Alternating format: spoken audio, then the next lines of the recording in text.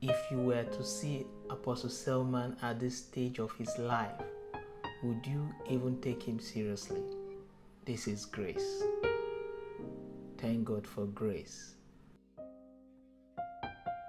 Honestly, all I can see here is a these men have paid their price, and now God is using them mightily for our generation.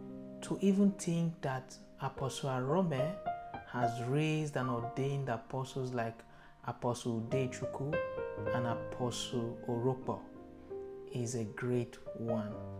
We pray for God's servants and we pray that God will keep keeping them on fire for our generation in Jesus' name. Amen.